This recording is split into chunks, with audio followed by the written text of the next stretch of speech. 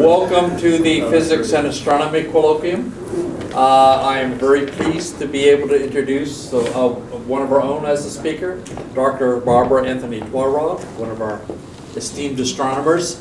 Uh, she got her start uh, as an undergraduate at Notre Dame University, then went on to Yale University, which uh, I, where, I think she met Bruce, Yep. right?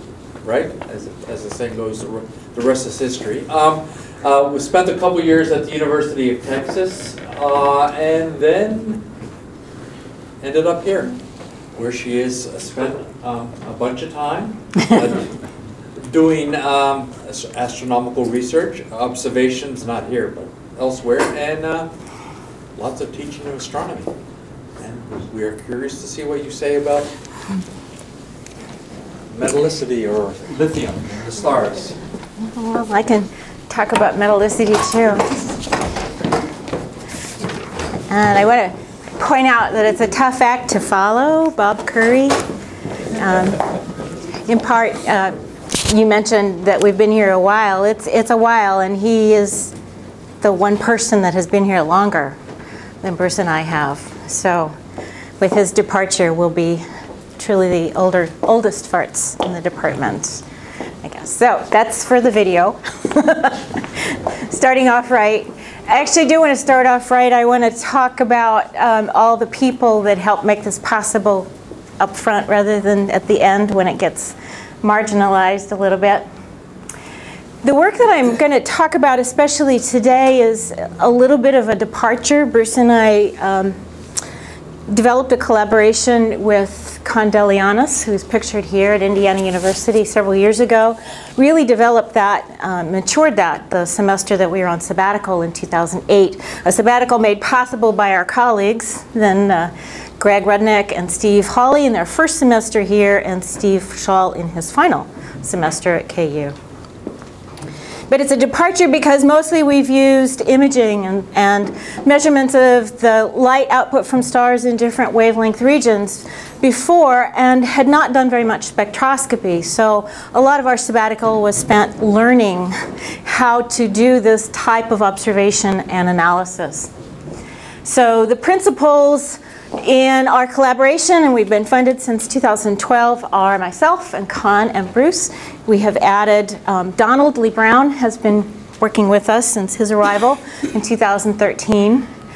Uh, we've added collaborators as we go, and I've called these collaborators in law because they are contacts that we have primarily through Con's network of theorists and observers.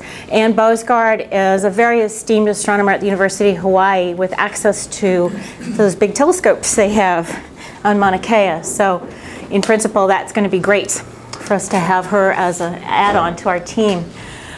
NSF, thank you. We have to do this. We have to be able to report that we did that. Thank you. One of the nice things about having Con Deliyannis as a collaborator is his status at Indiana University. And Indiana remains one of the partner institutions in a telescope consortium. This is the larger of two telescopes that they manage at Kitt Peak National Observatory.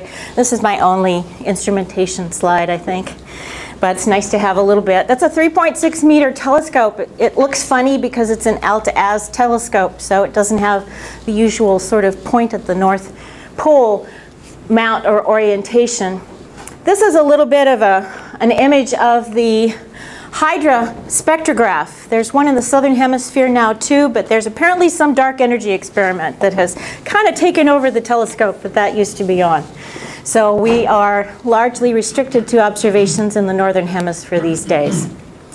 Hydra positions those fibers. It has up to 100 fibers that it has little actuator rods and it can take about a half an hour to reconfigure so you don't do that often or lightly.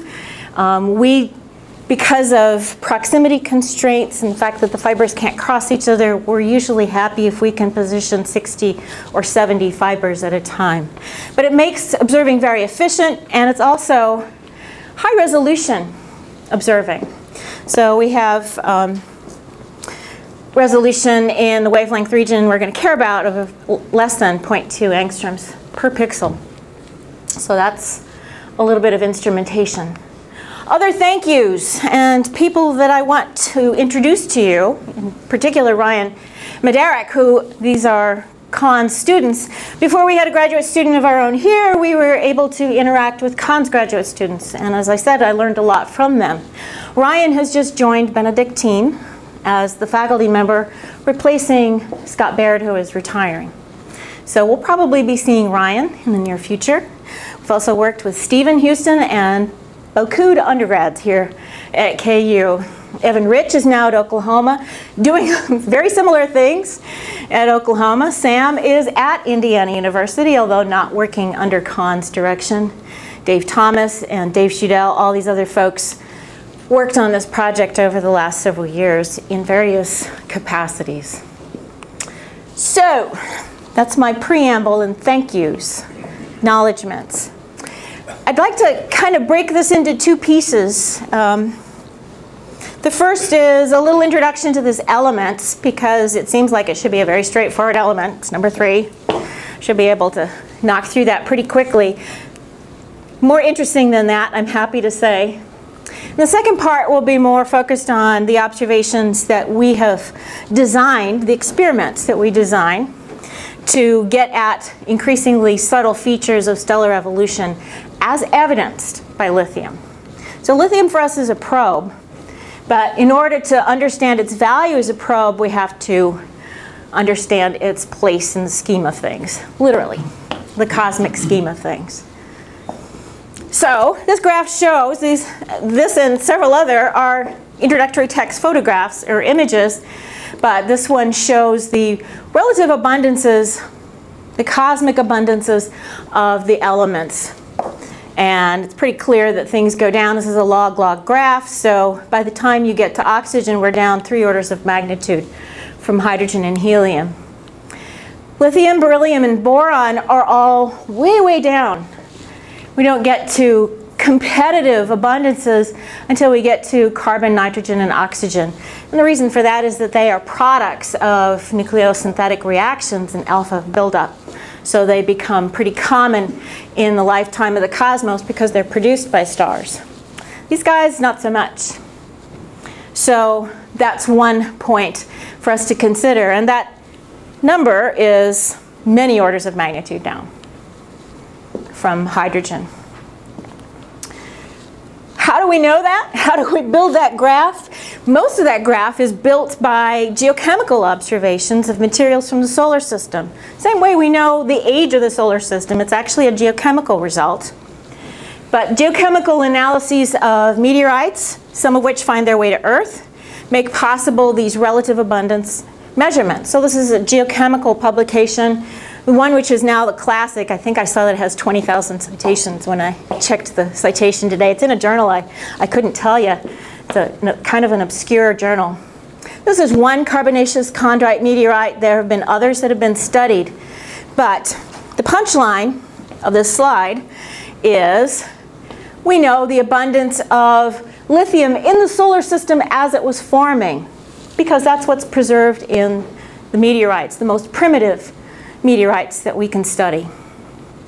This is a definition of how I'll be describing the logarithmic abundance of lithium and it is reference to the abundance of hydrogen. Another point you may know or may suspect that there's more than one isotope of lithium. There, there is. But um, in the solar system, the more common isotope outnumbers lithium-6 by a lot, by 12 to 1 or so. So that's a point we might want to look into. This is also from that Anders Grevesse uh, article, and it shows, I'm sure you can't see, but as we go to higher and higher atomic number elements, the relationship of the abundances in the sun, as we can observe it, and in the meteorites, is fine for most elements, but really discrepant for lithium and beryllium. So two orders of magnitude difference between what the solar system formed out of and what we now observe in the sun's atmosphere. So something's happened. And part of our goal is to figure out what that sort of something process might be. Whoops, I went the wrong way. So How do we do that? How do we actually measure the abundance of an element in a star's photosphere? I'll say a little bit about that. Uh, we may have a question at this point. Why? Why is the sun's lithium abundance so suppressed compared to what solar system formed from? And we'll get to some answers. I don't know that we have a complete answer yet. So here is the obligatory HR diagram of an astronomical colloquium. And I won't dwell on this very much. You've either seen some of this or you haven't. Um, but all of what we first learned about stellar astronomy can be described in this diagram. This axis covers a range of about an order of magnitude in surface temperature. Colors are telling you what it seems like they're telling you. The hotter objects are on the left and look bluer.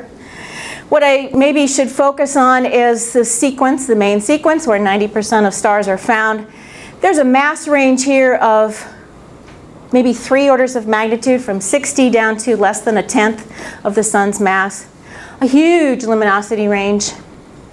And they, these faint diagonals are lines of constant radius. So we have fairly similar structure stars here. So this is apparently a single valued sequence of increasing mass and increasing evolutionary potential.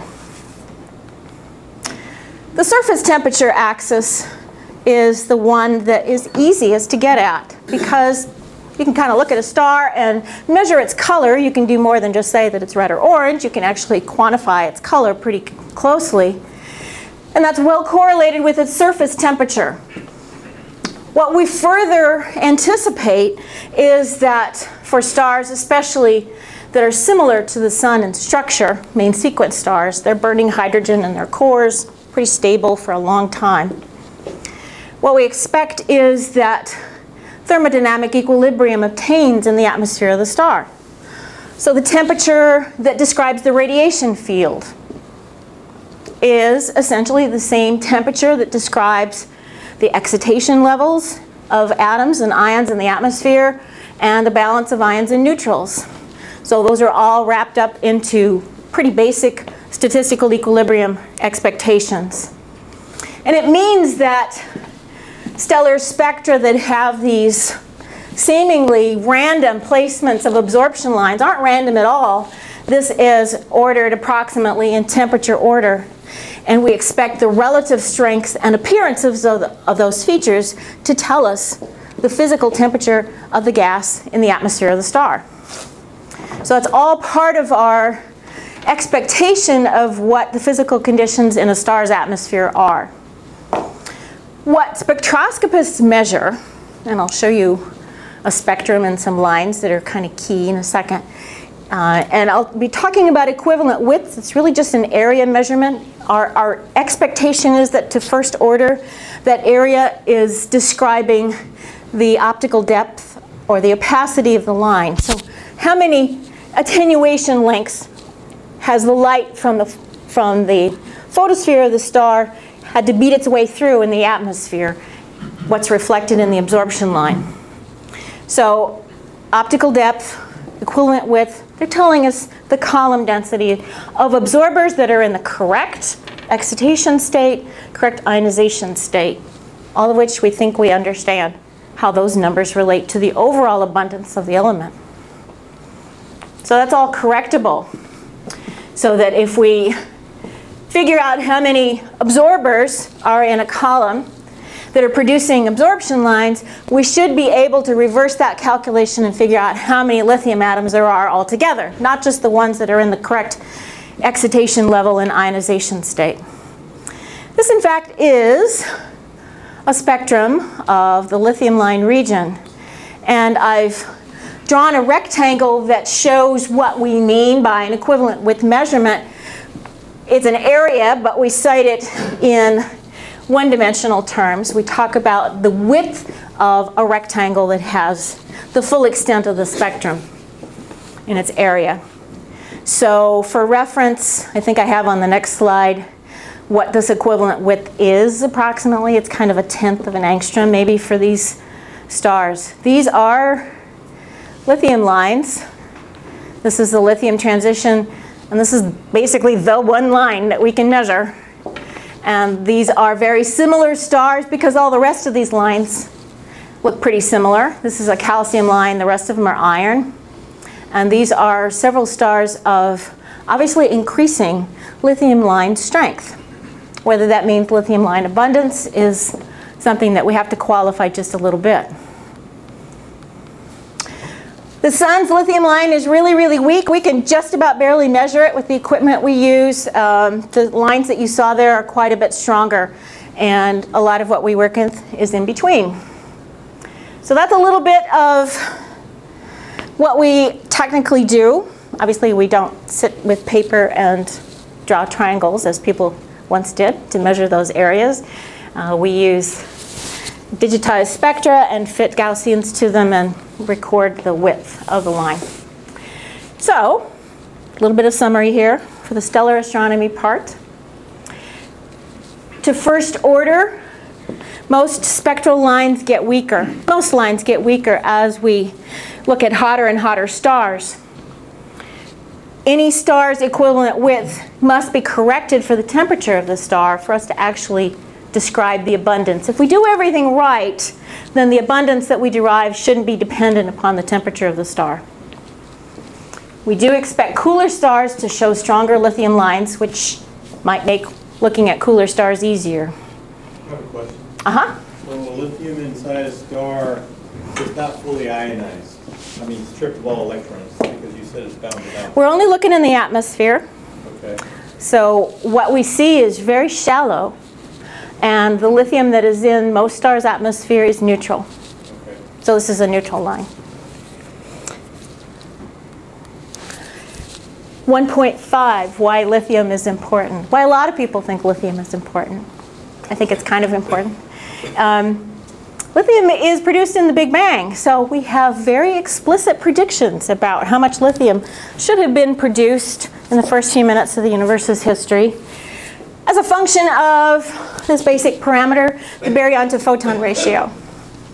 And each of these graphs is describing helium, helium-3, deuterium to hydrogen ratio, and lithium-7 production relative to hydrogen. And the box is describing this range of eta that is suggested by these measurements. This yellow band is the range of eta that is suggested by interpretations of fluctuations in the cosmic microwave background radiation. So this is called concordance because it looks pretty good.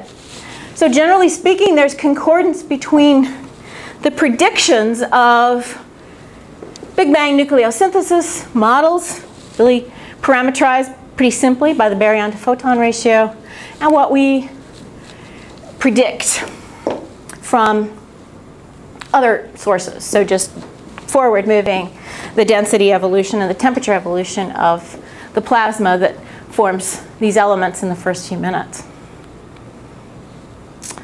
These are reasonably recent results for lithium abundances and they're in numbers so I've translated it to the terminology that I'm using, lithium logarithmic abundances. Remember that I said the solar system abundance is 3.3.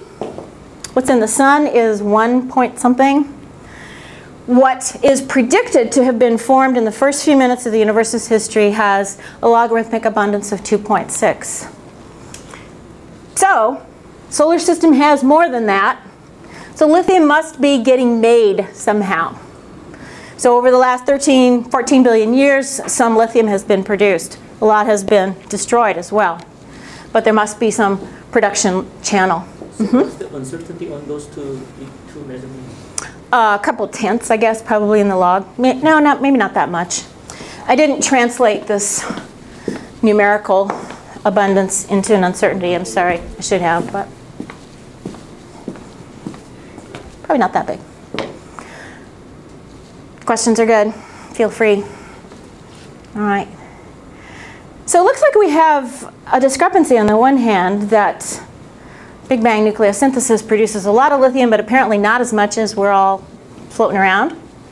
Solar system formed four and a half billion years ago, and it, there was more available then than was formed initially in the cosmos' history. One of the production channels that has been known about for a long time, and I'll only mention it because it helps answer some questions and poses a few others. Pretty sure that lithium can be produced by cosmic rays banging on the most abundant nuclei out there in the interstellar medium, which are, other than hydrogen and helium, carbon, nitrogen, and oxygen. So, a long time ago, by Hubert Reeves and other people, Jean Audouze, um, if you fold together reasonably straightforward models of cosmic ray flux, interaction cross sections, and what they took to be a fixed abundance of these elements in the interstellar medium, what do you get? You predict reasonable amounts of these light elements, beryllium, lithium, and boron, but the isotope ratios don't seem to match what we observe in the meteorites of the solar system. If you think about it, you're just banging things together. There's no big reason to prefer lithium-7 over lithium-6 by an order of magnitude. So those predictions don't match what we see. So the supposition is that cosmic rays produce some lithium, but not all. And in particular, there must be a formation channel for lithium-7 other than cosmic ray spallation on CNO nuclei. So we might be looking for that. And I will not say a lot about this, although we've um, worked a little bit on evidence for production of lithium in odd little places. This is the way it would have to work. This is helium producing beryllium, which decays pretty quickly, something like 60 days, 50 days, into lithium. In fact, these are basically side chains for nuclear reactions which on, on bulk take protons and turn them into alpha particles. So you'll see that alpha particles are at the, the back end of these reactions. So these are alternate chains to the predominant proton-proton simplified chain of reactions that is operating inside the sun's core. Point is, you can make lithium from beryllium but the conditions that will admit that will very quickly destroy the lithium. So if you have temperature conditions that allow for the production of beryllium and its subsequent de decay to lithium, you're going to lose that lithium just about as fast as you make it, unless you can move the beryllium quickly and far away from those high temperatures. That seems really contrived. Um, I'm not sure that it was particularly obvious to Cameron and Fowler, but this mechanism is being invoked because we don't know of another way to explain the production of lithium in some situations.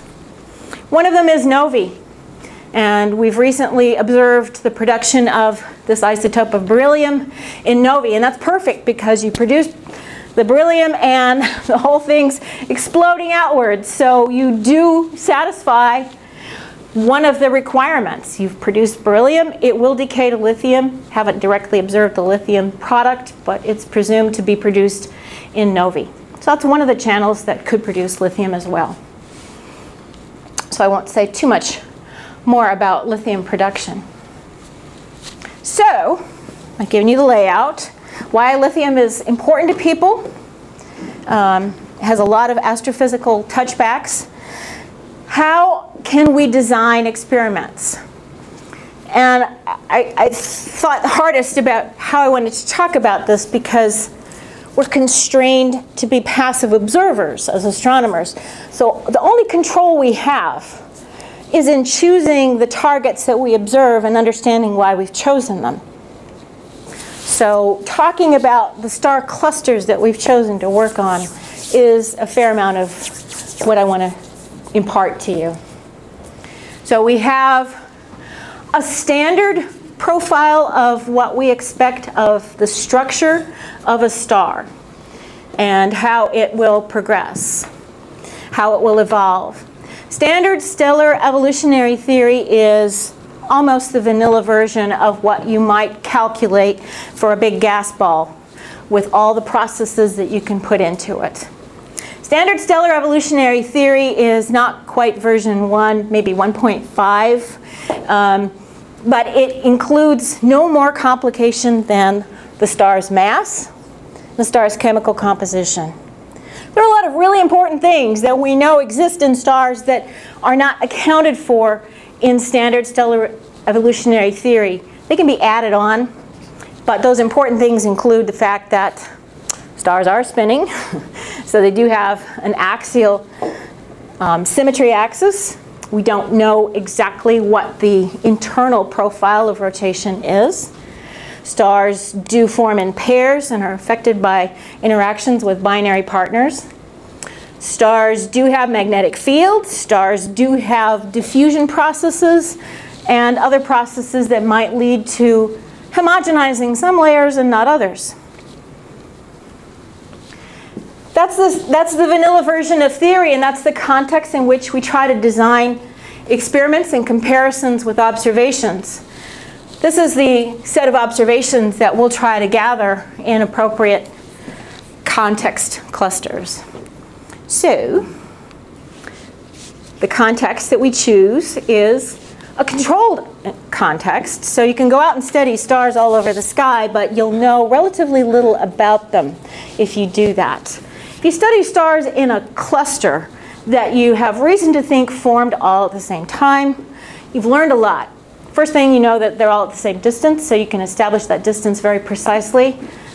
They should all have the same composition, chemical composition. And they should all have the same age, modulo the ones that might take a little while to form. So we look at star clusters because they're coeval and they simplify a lot of things. So we've removed as many variables as we can. And if you think back to that HR diagram, which I think I have another analog of in a second. Higher mass, higher luminosity, faster evolution. That's the key to basic stellar evolution theory. So this little animation, there used to be a better one, but it's, it's succumbed to Java rot, and I can't get it to run anymore. But what you saw there, back it again, is a couple of time steps for the evolution of stars. Given enough time, these guys burn up very quickly, they're gone. After several billion years, all the stars that were pretty massive have evolved and become giants, and we may see them as giants, but basically the stars that are left in a cluster after several billion years are all quite small in mass.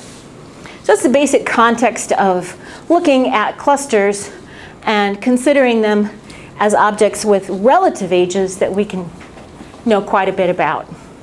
So this is a superposition of HR diagrams, Hertzsprung-Russell diagrams for a number of open clusters, oh, still running up there, of different ages, where this is the oldest one shown. This is about the age of the sun, and these are variously less than a billion years and less than 100 million years in age.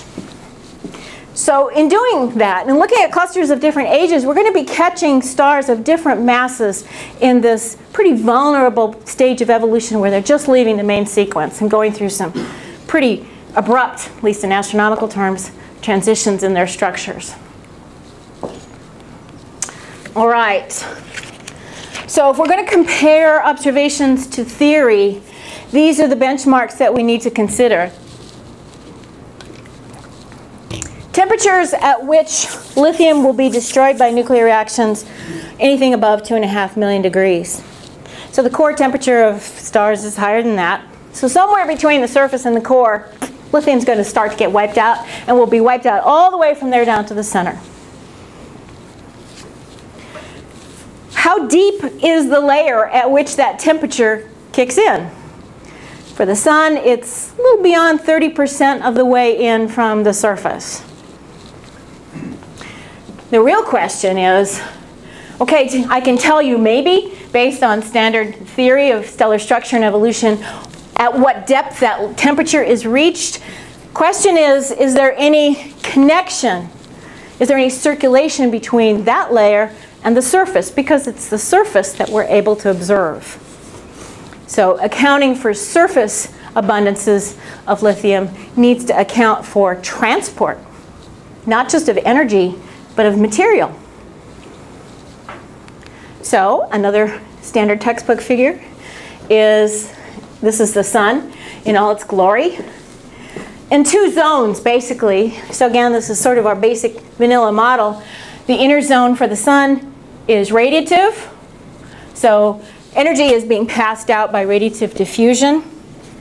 Um, the material itself is not moving in bulk. But in the outer layers of the sun, the material is moving in bulk in convective cycles, just like in atmospheric science. So convection moves energy very efficiently. It tends to kick in when temperatures are low. Um, it kicks in basically because radiative transport just can't move the energy out fast enough. And it mixes the layers in which it is applicable. So this is a little diff of the surface of the sun. This is the small scale granulation of the sun, but you can look at the sun and see this bubbling, which is evidence of convection. Cooler the star, the more extensive this is going to be, the deeper this convective zone is going to go, and the hotter the temperatures are going to be at the base. So if we've got a big, extensive convection zone with a pretty high temperature at the base, we're going to see destruction of lithium at the base of the convective zone, and it's eventually going to get mixed to the surface. Protostars, as a side, are basically all convectant, and they manage to destroy all of their lithium if they're cool enough. In fact, finding a lot of lithium in a very small star is basically a, an operational definition of a brown dwarf, something that will never be a main sequence star. But again, the vanilla version of stellar structure. Got a couple kinds of stars. And I'll be talking about this range first of all. Cooler the star, the deeper, the more extensive its surface convection zone is. And you see if you go cool enough, basically they're convective nearly all the way to the core. Not so much for the sun and stars near it in mass and surface temperature. Higher mass stars are complete, completely flipped. The outer part of the star is not mixing, it's not convective. Energy is passing through radiative transfer, and the convection is actually occurring in the core. So we have a, a pretty big distinction between those two classes of stars here. Can you explain why? Why? Um, the main thing is the temperature structure. Convection is very susceptible to any region that has a very high temperature gradient. More massive stars have much more temperature sensitive fusion reaction rates, so they're going to be convective. And then the higher temperatures of the outer layers, radiative transfer seems to be fine for getting energy out. So You mean the mass density or is actually the um, temperature distribution? temperature distribution and the chemical abundance of stuff that um, impedes the transfer of radiation. All right. Well, the surface convective zones that pertain to these lower mass stars, um, thicker, I've, I think I've already said that the, the lower the mass of the star, the cooler the surface of the star, the thicker its surface convective zone is, the hotter the temperature is at the base. And we thought, oh, maybe that's our explanation.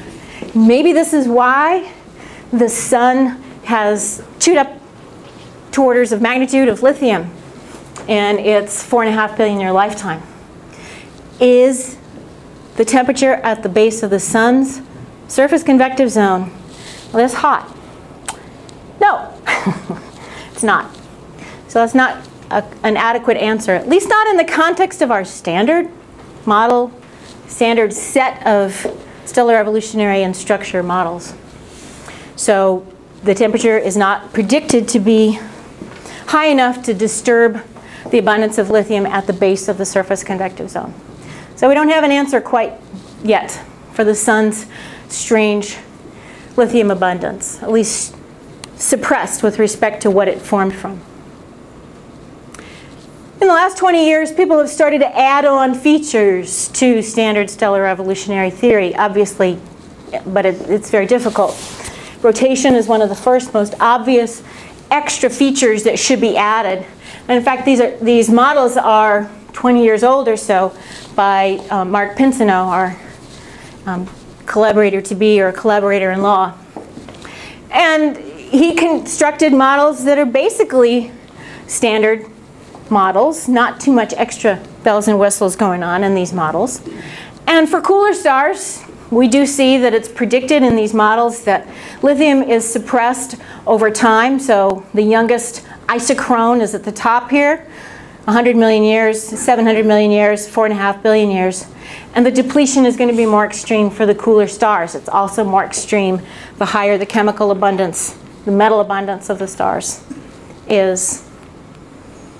Okay, we have an expectation for cool stars. So we know what we should look for in clusters of different ages. We should see something like that pattern of declining lithium abundance as we look at older and older clusters. What about the warmer, more massive stars? Well, as far as we predict, there really isn't a predominant zone of convection at the surface of these stars. They're warm. They don't seem to have chromospheres for the most part. They don't seem to have the features that go along with this turbulent mixing layer like we see in the outer part of the sun. So we don't expect to see depletion of lithium in these warmer stars. So do we? I think I'll skip ahead to the sun here. So hold that thought. Do we see depletion of lithium in warmer stars? If I look back at the sun now, let's start to pay attention uh, to the sun and try to frame it in the context of these predictions of standard stellar evolutionary theory. Maybe not even in the context of theory, maybe in the context of stars that should be similar to the sun. Is the sun's lithium depletion extreme? Is it unusual? Whether or not we can explain it. These are stars that are as nearly as we can figure the same mass as the sun, but at different ages. And what you see plotted is the abundances of lithium for these stars as a function of stellar age. And there are big error bars on the age. That's the hardest thing to do because these are stars that are observed to be just isolated. They're not in cluster context at all. There's the sun. And these are models that incorporate a little extra mixing into them. Um, what we learn from these is not particularly informative as far as discriminating between these models, but we learn that the sun's depletion of lithium is not out of the ordinary. We just haven't explained it very well. The one other thing that we can learn about this is that if we look at beryllium, which is destroyed at temperatures just a little hotter than lithium, it doesn't seem to evolve with time at all. So whatever extra process we need to look for in terms of mixing, above and beyond the surface convection zone, doesn't go very much deeper than the temperature necessary to destroy lithium. Because beryllium seems to not change in stars over a wide range of age. So we haven't yet really explained the sun's depletion, but we've learned that it's not unusual. All right the context of clusters. This is the context in which we say we're going to work because we can look at a bunch of stars, we know a lot about them. What distinguishes one star from another is the mass it starts with and the time that it takes to evolve. These are stars that are, uh, clusters that are reasonably young plotted with predictions by Marc Pinsonneault for the development of lithium abundances with time and as a function of surface temperature. So the sun's temperature is about here. These are stars that are cooler. Pleiades, 70 million years down to something which is a few hundred million years. So for the youngish clusters, eh, you could say that those match the predictions reasonably well. So when we start looking at clusters that are approaching a billion years, not even that, down here, that we start to see some discrepancies. All of these clusters are shown with the graph characteristic of this one cluster at the bottom, traced through them, the Hyades cluster. It's about 700 million years old. And here's what we see. These are stars that are so warm that we don't think they have a surface convective zone. We have no expectation that they should have any way to deplete lithium at their surface. Not only do they deplete it, but they knock it out so much that we can't observe it. Almost everything you'll see for stars in this temperature range is upper limits only. So bizarrely, at this one temperature range, there is a mechanism that destroys lithium. It only kicks in after a few hundred million years. It has a very discrete temperature range, a couple hundred degrees either side of that. Temperature, not mass, temperature. And astronomers, having learned what kinds of things go on at particular temperatures, know that certain instabilities occur in very discrete temperature ranges because the depth of something unstable is going to be a function of the overall surface temperature of the star. So that's just a point of information and perhaps suspicion. Masses of the stars in that gap are 1.3 solar masses, give or take. And what we've learned over the work we've done the last five years is once established, that pattern doesn't change. In looking at clusters that are less than a billion years old, a billion years old, a couple billion years old. Yeah? So if you get a large destruction, uh, maybe you've already said it, but when they are destroyed, what do they transform to? Boron? or- Lithium, helium. Oh, they go to Yeah, it'll just get buried in all the helium, so it's going to be effectively invisible then. This is the one cluster I want to talk about in particular to wind up and show what we've shaken loose from not just this cluster, but a few others that we've worked on. And a lot of this really kind of coming to grips with in the last month or two. So Donald and Stephen helped us a lot over the last summer um, to get through some of these spectra. And I'm going to be talking about spectra that have given us horrible, horrible nightmares. But that's not the case for this cluster. It's been a beautiful cluster to work with. And we are in the process of writing our third paper on this cluster.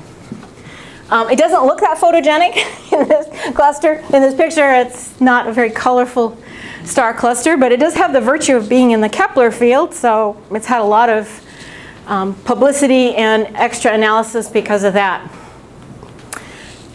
Here is our beautiful diagram. So I'll, I'll beg your indulgence while I gloat over this baby picture for a minute.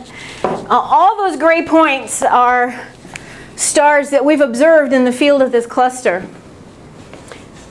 Some of them might not be members of the cluster. It's kind of hard to tell without additional information whether it's background, foreground, doesn't belong. But we do have ways to get that extra information. All of the colored points are stars that we actually put fibers on in that spectrograph. We have over 330 stars in several different configurations that we have high dispersion spectra for and lithium abundances for. The red ones are stars that we eventually decided were pairs, binary systems. So when you see the spectrum lines going like this, you know you're looking at an orbiting pair of stars. Um, we decided that some of them aren't members. And there's a star there that, if I have time to, I'll tell you about its little story. But um, the main sequence used to be there. What's left is here. And the turnoff mass, the mass of these stars is 1.4, 1.5 solar masses. So we have a lot of lithium abundance. We've never had this much data before. This is the first cluster that we've worked on that went beyond the dozens to the hundreds. Boy, you learn a lot more with a lot more data. Um, I guess that's a lesson we all know. And I'll, I'll walk you through some of these graphs, but these are sort of not even hot off the press. These are not even in press. These are just being written. This is color or temperature and brightness. And since we hope we're looking at all cluster members, you can gauge that as luminosity or energy output, at least in relative terms. These are the stars that are leaving the main sequence. These are the stars that are now giants. And they may have even been up the giant branch more than just this first trip by the time we're observing them. On the side here, for one-to-one correspondence in brightness level, we have the lithium abundances. So we have fairly high lithium abundances, and these black out means we actually got that line measured and assign an error bar to it. The triangles mean we only have an upper limit. So there may be very much less lithium than the point indicates. As you kind of expect, because the stars are getting cooler as they expand away from the main sequence, they're evolving into much larger structures and becoming cooler. Convection becomes a much more important part of the structure of the star, and lithium becomes diluted and depleted as the stars evolve. So we sort of expect, as we look at more and more evolved stars, that lithium will go down, and it does. These are lower numbers, lower abundances, with a couple exceptions including that one magenta point, which seems to have figured out a way to make lithium on its way to this status. I don't have a whole lot more to say about that. This graph shows the less evolved stars. So these are still on the main sequence. These are kind of peeling away in their gradual evolution. And in my standard picture of what stars do, I would sort of expect that each one of these points a little bit higher up, was just a little bit more massive and is now a little bit further along in its evolution. That's probably still largely true, but there might be a, a wrinkle to that that we're uncovering. What you see is this drop off in lithium below this point. So all of these stars are in this dip. And these are mostly upper limits. So there's this sharp decline, really sharp. This temperature range is like 50 or 70 degrees Kelvin. It's incredibly abrupt transition from stars that are depleted and stars that are not. Mm -hmm. I'm just curious about the left. Yes. So basically your horizontal is the temperature. Yes. So if you look that way, means at a given temperature, then you could have a two different uh, kind of uh, or several different kinds of stars with different luminosity. Yes. Um, so why is that? So means that it's not just temperature depend, determining the luminosity. So you're saying that we have stars at the same temperature but really different luminosities. These stars used to be over here. So as they started out, they were much hotter. Every star, when it evolves towards death, basically becomes cooler along the way. So this is where these guys are now. They haven't spent that much time in this cooler state, won't spend a whole lot of time in this cooler temperature region. They cool down, but they still have higher luminosity. They do. And they stars don't lose luminosity as they die, which is paradoxical. They just the cores just get hotter, they just keep cranking out more energy, but they get very distended. Is there another question? Uh, I should get to a punchline. Let me, let me get to a punchline. This is the punchline. How about that? All of what we've done the last few years is to study a number of clusters. This is part of the punchline. I think I've got a little more punchline. So it's punchline part one. The dip, this feature of F-stars, we have learned by looking at clusters of different ages, it doesn't show up until clusters are established a few hundred million years into their lives. Once established, it doesn't seem to change very much.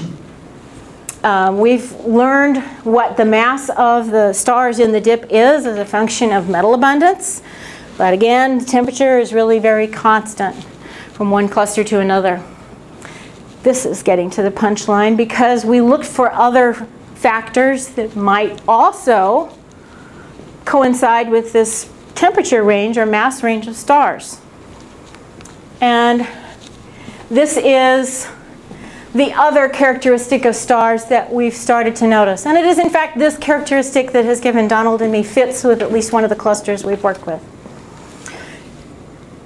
One of the other features of stars just in that range where the dip occurs is that that is also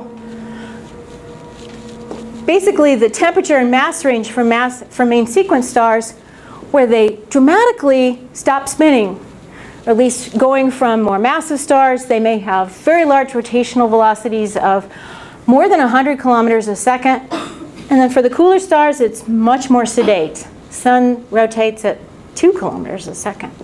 So it's a very, very noticeable transition in overall characteristics. Hotter main sequence stars can have a big range in projected rotational velocity. So if we're looking at the width of a line, we can only infer the projected rotational velocity from that. People who study cooler main sequence stars don't try to measure the rotational velocity, it's very small. They try to measure the period of the star's rotation. So if it has spots or something like that, you just kind of wait for the spots to come around again and see how long that takes. But the general pattern is that more massive stars, yeah, they don't live as long, and they are hotter, can have very high rotational velocities, but cooler main sequence stars, not so much. Much more modest um, rotational velocity profile. In fact, uh, people, this is by, uh, they actually made it into Science or Nature this past year. This is by Brandt and Huang from Princeton. I didn't get the highest resolution picture, I, I might have maybe, but this is for cooler stars showing this is temperature getting cooler this way. This is age getting older this way. And this is rotational period. So as we look at older stars, their rotational periods are longer. As we look at cooler stars, their rotational periods are longer. If we have a whole cluster of stars, it should describe a, a curve on that surface. In fact, these guys think this is so predictable that they think they can get ages for stars in the field of the galaxy this way. And you'll notice that this is the cluster I'm talking about. So here's the punchline. This is what we have pieced together looking at this cluster and the other cluster that is so problematic having lines that are broadened by rotation of 100 kilometers a second, 150 kilometers a second, makes them a nightmare. Everything gets flattened and washed out. Lines overlap more than they did. It's been very, very difficult. But some of these are gross constraints. What this graph is showing is some characteristics of stars that are just a little above the dip and a little below the dip in this older cluster, about 2.3 billion years. In the somewhat younger cluster up here. And the one in between, which we studied six or eight years ago, where we only had a few dozen stars. So it's kind of hard to see that this supplies a missing link, but hopefully it does. These are roughly the same stars taken or seen at two or three different snapshots. So by the time these stars are 2.3 billion years old, two things are apparent. One of them is apparent here. There aren't any fast rotators in this cluster.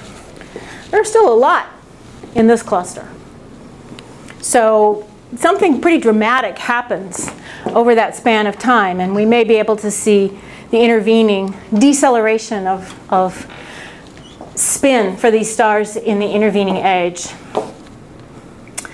This other graph connects the two, the, the samples that we see here.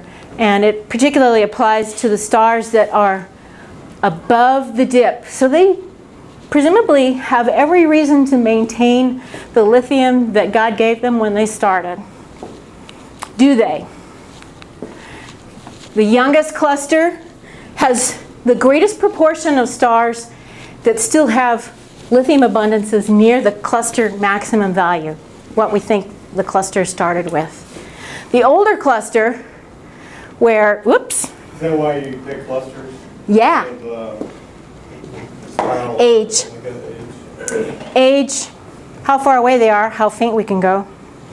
Um, chemical composition, if they're in the northern hemisphere, and we can see them without offending decency on an Southern Hemisphere telescope, you know. So, but age primarily, age and chemical composition. By the time these stars have evolved another billion years or so, we expect that they're going to be like this, where fewer of the stars have preserved their lithium. So the connection seems kind of clear. It's a smoking gun, but we don't exactly know what caliber it is or exactly how this mechanism works. That there is a pretty obvious connection, not between the spin of the stars, but how they spin down and how abruptly they spin down. You can kind of imagine that a deceleration mechanism for a star, and we know very little about how that couples to the interior of the star, will involve some pretty dramatic structural rearrangements for the star's structure and its subsequent evolution. So this is the punchline final conclusion slide. We have really just formulated these suspicions in the last few months, but the last few years have convinced us that the lithium feature on the main sequence star is about 7,000, 6,600 Kelvin, not 7,000, a little cooler than that. That feature is a fairly fixed feature after a certain amount of time has gone by, a few hundred million years, and then subsequently it doesn't change very much.